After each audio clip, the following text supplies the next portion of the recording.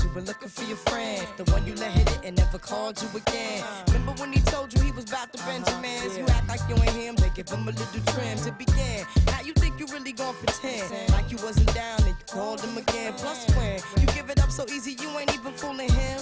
If you did it then, then you probably can. Talking out your neck saying you're a Christian, a Muslim, sleeping with the gin. Now that was the sin that did Jezebel in. Who you gonna tell when the repercussions spin? Showing off your ass.